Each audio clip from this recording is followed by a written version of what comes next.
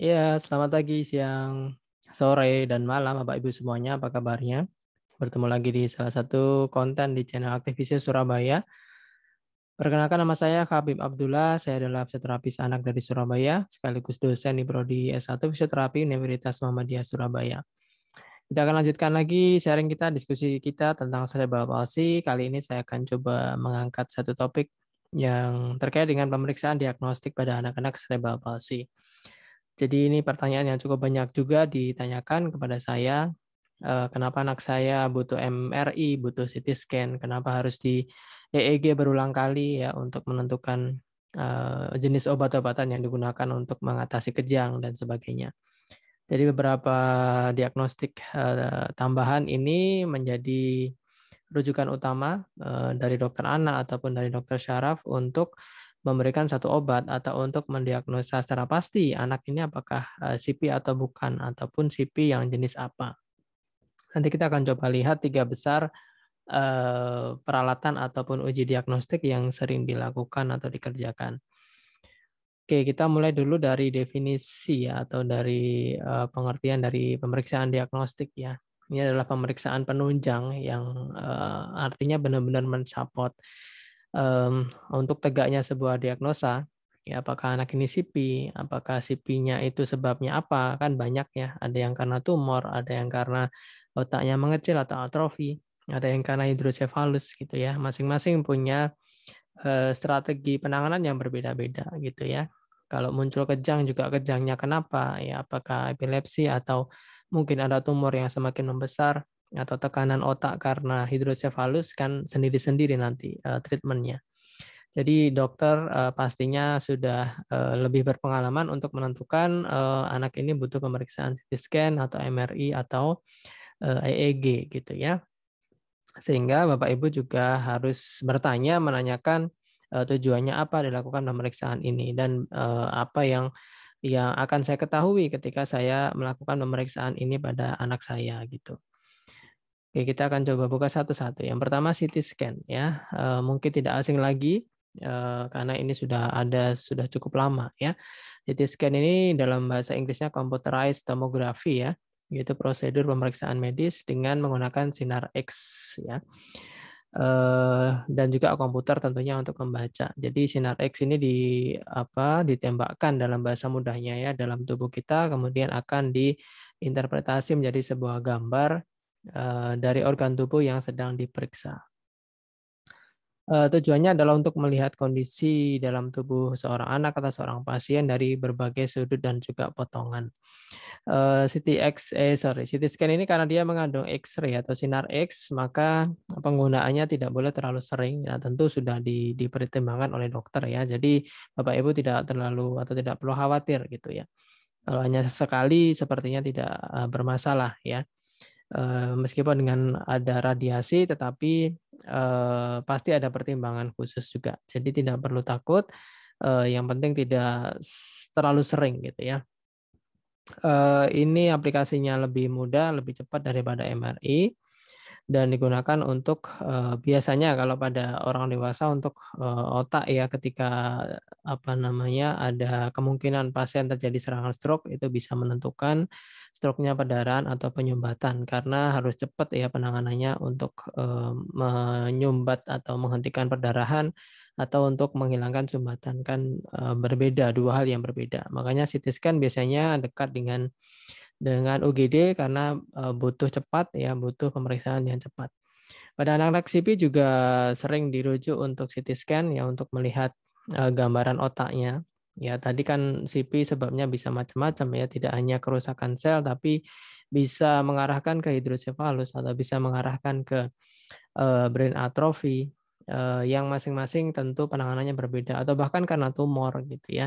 Kalau karena tumor kan berarti ada benda asing ya, benda asing yang tumbuh di situ ya atau sel asing yang tumbuh di situ sehingga mengganggu fungsi otak dan penanganannya pun pasti berbeda nanti setelah di CT scan anak CP yang karena hidrosefalus atau anak CP yang karena tumor atau anak CP yang karena brain atrophy itu pasti penanganannya berbeda. Ya, kalau ada hidrosefalus ya harus dipasang selang untuk mengeluarkan cairan yang e, menyumbat ya pada sirkulasi cairan cerebrospinal di otaknya. Uh, kalau karena tumor ya berarti harus di strategi, harus diangkat. Uh, kapan harus diangkat ya, seberapa besarnya itu dievaluasi juga.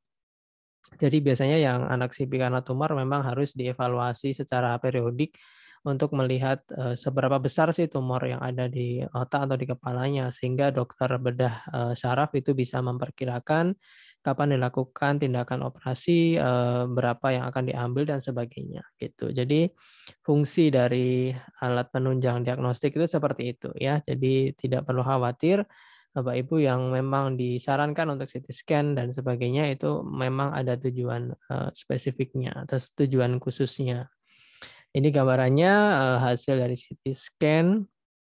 Nah ini nanti pasti ya harus dibaca dulu oleh dokter radiologinya ya apa yang terjadi pada otak si anak.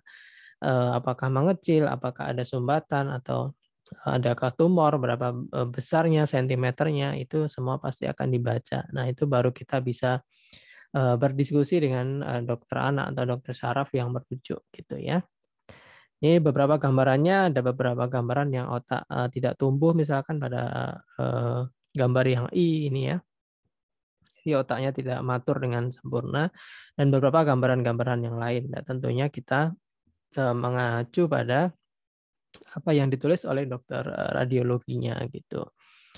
Uh, sekali lagi CT scan Eh, manfaatnya adalah eh, dia cepat melakukan diagnostik ya cepat dalam pengoperasian tapi kelemahannya tadi ada X-ray-nya ada radiasi sinar X-nya jadi eh, penggunaannya pasti sudah di apa namanya diketahui dan juga dipertimbangkan oleh dokter yang merujuk untuk mengetahui kondisi otak si anak gitu ya kalau memang terjadi gejala-gejala CP itu bisa di Eh, ketahui sebabnya kenapa. Ya dikerucutkan pada sebab-sebab tertentu ya, karena butuh butuh penanganan yang cepat juga. Misal ada hidrosefalus atau ada tumor itu kan butuh uh, tindakan yang cepat juga. Lalu yang kedua MRI juga tidak asing lagi. Ini uh, lebih mahal daripada daripada CT scan gitu ya. Karena uh, apa namanya kos atau biaya yang dikeluarkan juga mahal. Uh, bedanya dengan CT scan MRI ini menggunakan gelombang magnet ya yang apa namanya berfungsi untuk men-scan juga untuk mengetahui kondisi di dalam tubuh kita. Ya biasanya lebih spesifik ke jaringan lunak ya. Jaringan lunak itu bisa otak, bisa ligamen ya. Uh, beberapa struktur yang tidak bisa difoto dengan CT scan itu bisa diketahui dengan MRI. Keuntungannya adalah tidak menimbulkan radiasi ya karena dia bukan sinar X tapi dia menggunakan gelombang elektromagnet sehingga cukup aman ya ketika sering digunakan tapi kelemahannya agak lama, ya anak harus diposisikan agak lama di dalam mesin ini.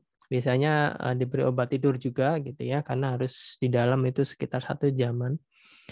Uh, harus diam di situ gitu ya. Kalau orang dewasa mungkin bisa, tapi kalau anak-anak atau anak sipil terutama juga itu harus menggunakan obat anestesi supaya dia diam di situ. Uh, prosesnya juga agak lama satu jaman ya cenderung bising ya jadi bunyi alatnya dari bunyi gelombang magnetnya yang berputar dengan begitu cepat gitu ya pada orang dewasa itu bisa menyebabkan uh, klaustrofobia ya atau ketakutan pada ruang yang sempit karena memang uh, dia harus masuk ke dalam ruang uh, MRI ini gitu ya dalam waktu kurang lebih satu jam uh, ini hasilnya tentunya lebih lebih spesifik MRI memang ya lebih Eh, gambar per slide-nya itu lebih jelas sekali gitu ya. Itu ke salah satu keuntungannya. Jadi mau CT scan atau MRI ya nanti tujuan akhirnya tetap sama untuk mengetahui kondisi otak si anak. Ya, dan tadi ketika ada gangguan yang perlu penanganan darurat ya seperti ada tumor atau ada hidrosefalus itu jauh lebih uh, cepat dilakukan gitu ya. Dan kelemahannya yaitu lebih mahal Eh, pengoperasiannya lebih lama dan eh, sama-sama menggunakan obat bius juga sih CT scan dengan MRI jadi anak tetap harus diam di situ dalam alat tersebut jadi masing-masing punya kelebihan dan juga kekurangan oke itu CT scan dan MRI yang terakhir EEG EEG ini untuk mengetahui gambaran gelombang otak ya jadi otak kita itu dalam bekerja butuh atau menggunakan gelombang listrik sebetulnya. Jadi antar bagian otak itu bekerja, menyambung atau saling berkomunikasi itu menggunakan gelombang listrik. Nah, EEG inilah yang bertugas untuk merekam aktivitas kelistrikan tersebut. Sehingga nanti aktivitasnya ada posisi tidur atau merem, kemudian ada sedikit terbangun sampai melek, melek atau melek full gitu ya, atau terjaga. Nah, untuk anak-anak kadang-kadang juga harus menggunakan obat tidur karena harus merekam pada saat anak itu tidur. Ya, benar-benar tidur lelap gitu ya. Menggunakan elektroda yang ditempelin di hampir di seluruh kepala yang dilekatkan dan dia tujuan e, yang sering dilakukan adalah untuk epilepsi atau untuk kejang ya meskipun e, bisa digunakan juga untuk diagnostik gangguan otak yang lain. Jadi ada beberapa contohnya. Ya, ini adalah gambarannya. Jadi anak akan dipasang elektrode di hampir seluruh kepalanya. Kemudian nanti posisi perekamannya setahu saya eh, tidur tidur lelap, kemudian setengah terbangun sampai melek total ya. Jadi nanti dalam bentuk eh, grafik-grafik seperti ini, ya tentunya nanti dokter eh, yang akan membaca ya. Jadi bacaannya sudah ada nanti ya. Kesimpulan dari grafik ini seperti apa? Apakah ada kejang? yang mengarah ke epilepsi atau beberapa hal yang lain seperti ada tumor otak, ada kerusakan otak, eh, apa namanya peradangan otak atau encephalitis, gangguan tidur dan sebagainya. Nanti akan ada kesimpulannya di situ. Ya, tapi memang kebanyakan untuk anak-anak CP biasanya untuk memantau aktivitas eh, kejang di otaknya gitu ya. Eh, sebagai contoh kalau normal itu kalau kalau tidur kan memang aktivitasnya lah apa namanya kelistrikannya tidak muncul dengan baik ya, artinya tidak naik ya karena kita tertidur. Nah, pada anak-anak dengan kondisi kejang itu dalam posisi tidur pun ya dia mengalami kenaikan gelombang listrik sehingga ketika melek dia akan lebih naik lagi dan akhirnya muncul kejang. Nah, itulah yang dievaluasi ya sehingga dengan uh, mengetahui kondisi kelistrikan dalam otak, dokter akan meresepkan obat-obatan anti kejang ya obat-obatan yang membuat anak rileks sehingga tidak muncul kejang dalam jangka waktu yang berdekatan atau terlalu sering. Karena kalau anak sering kejang ya pasti eh, sel-sel otaknya ada permasalahan nanti. Eh, bisa mengalami kematian, kerusakan dan sebagainya.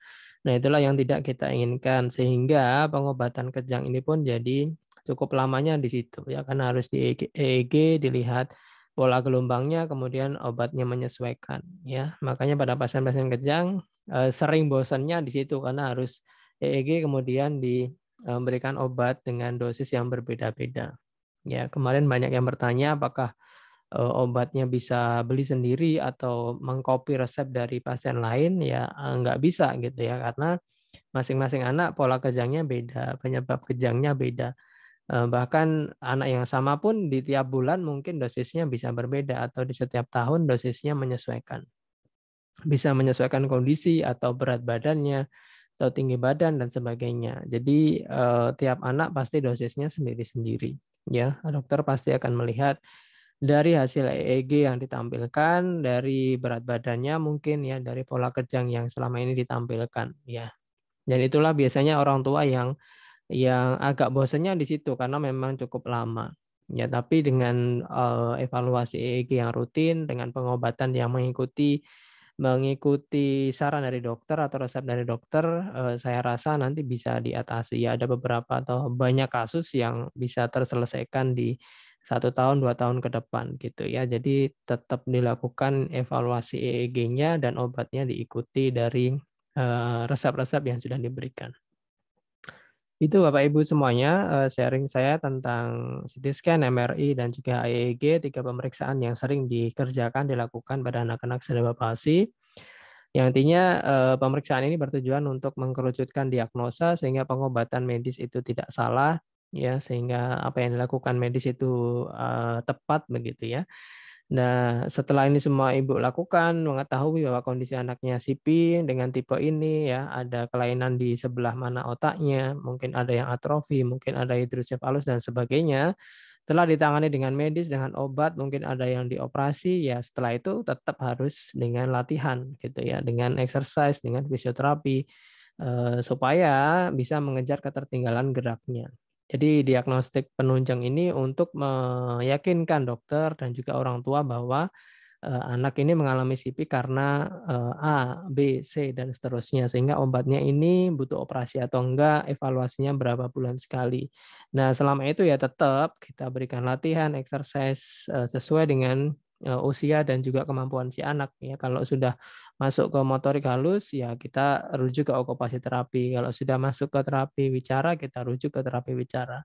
Kalau masih di motorik kasar, ya fisioterapinya masuk dengan intens begitu ya sehingga uh, semuanya bisa berjalan dengan baik ya otaknya diperbaiki dari luar juga diberikan stimulasi yang cukup sesuai kemampuan dan juga tahapan si anak.